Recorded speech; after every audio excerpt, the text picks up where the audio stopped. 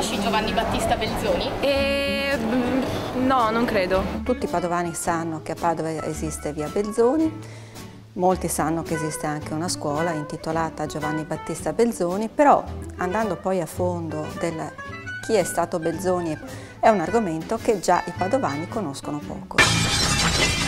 Per il santo!